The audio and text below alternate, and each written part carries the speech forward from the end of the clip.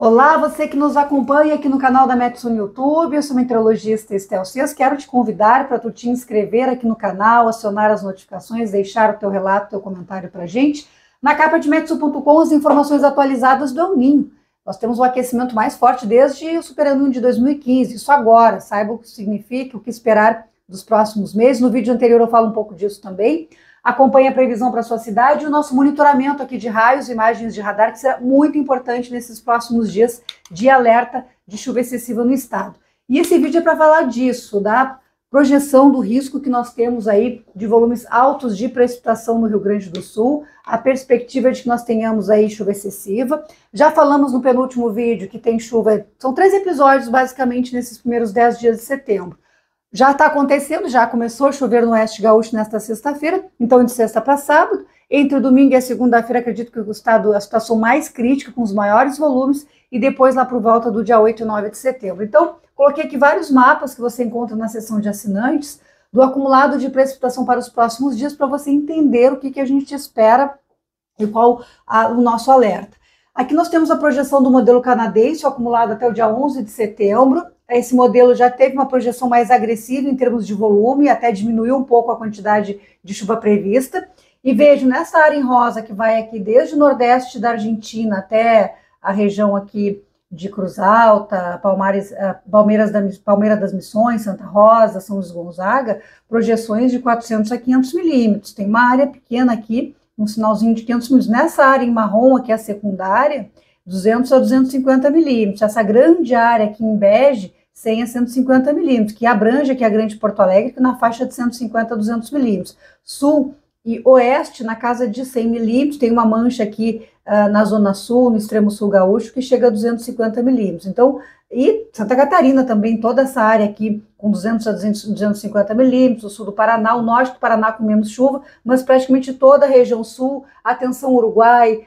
norte da Argentina e também Paraguai, dentro dessa grande área de chuva volumosa e excessiva que pode trazer alto risco de alagamentos. Eu destacaria segunda-feira, talvez com risco de maior, maior de chuva volumosa no curto espaço de tempo, até com risco de inundações repentinas, porque é muita chuva em poucas horas, com o centro de baixa pressão atmosférica atuando na segunda-feira e estimulando a formação de nuvens muito carregadas. Então, de domingo para segunda, eu diria que é o momento mais crítico de todo esse período de 10 dias, mas já poderemos ter temporais na tarde e na noite desta sexta-feira. Ao longo do sábado, a chuva fica num vai e vem, dá uma aliviada no começo do domingo e depois, na medida em que a pressão atmosférica vai caindo, volta a ganhar força entre a tarde e a noite de domingo e ao longo de toda a segunda-feira.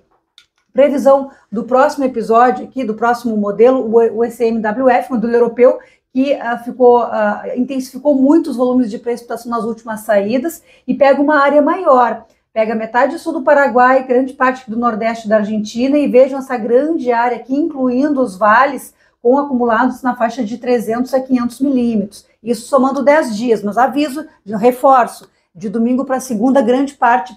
de domingo para segunda, algumas áreas podem ter de 100 a 200 milímetros, só entre domingo e segunda-feira, então é o período mais crítico. Tem um sinal aqui também de chuva excessiva no oeste do Paraná, grande parte do centro-oeste do Paraná na casa de 200 a 300 milímetros, sul de Santa Catarina e Rio Grande do Sul numa área maior, chegando também à Zona Sul, ele, o modelo europeu ele projeta volumes melhor distribuídos, mais abrangente a área de risco de chuva excessiva e volumosa. Projeção aqui do modelo é, WRF ele é de curta duração, de 72 horas, então ele concentra mais nessas primeiras 72 horas o oeste do estado, do Rio Grande do Sul, com acumulados de 100 a 150 milímetros, algumas áreas com 200 milímetros, 100 milímetros aqui no sul de Santa Catarina e Paraná, e não coloca chuva, pelo menos até o início do dia 4, no norte do Paraná. Depois é que a chuva vai avançando para essas regiões. E aqui a projeção do modelo Icon, também com projeção de volumes muito altos, mas ah, são acumulados de sete dias, então ele coloca também algumas áreas aqui de 200, de 300 a 400 milímetros, na, na, metade norte do estado, grande parte do, do, Rio Grande do Sul na faixa dos 200 a 250 milímetros, e também pegando sul e oeste de Santa Catarina, sudoeste do Paraná.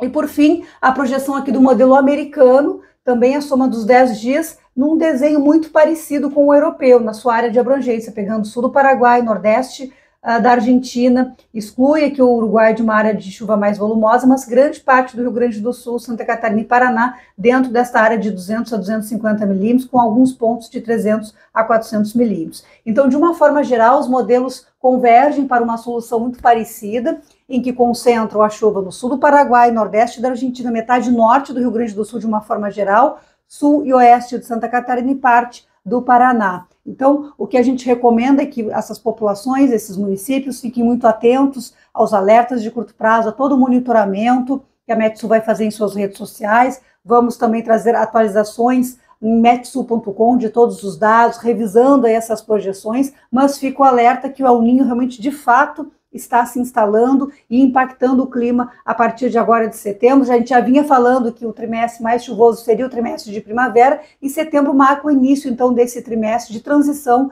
e que costuma ter temporais e claro, tenho que falar disso, há risco dentro de todo esse cenário de chuva volumosa, já nesses próximos cinco dias, de, uh, além da chuva ser em grande quantidade, de muitos raios, da ocorrência de vendavais localizados, especialmente entre domingo e segunda-feira, não excluindo que isso aconteça no sábado, mas no sábado é mais pontual, de domingo para segunda, um número maior de cidades pode ser atingida por vendavais, com impacto aí, é, com risco na rede elétrica, queda de árvores e outros danos, e também a ocorrência de granizo não pode ser excluída dentro de todo esse cenário complexo de frente fria se aproximando, de pressão atmosférica caindo, de grande contraste de temperatura. Então, são várias situações em conjunto que acabam criando esse cenário de alerta para os próximos dias. Então, siga nos acompanhando e a qualquer hora a gente traz também mais, mais informações aqui no canal da Metsul.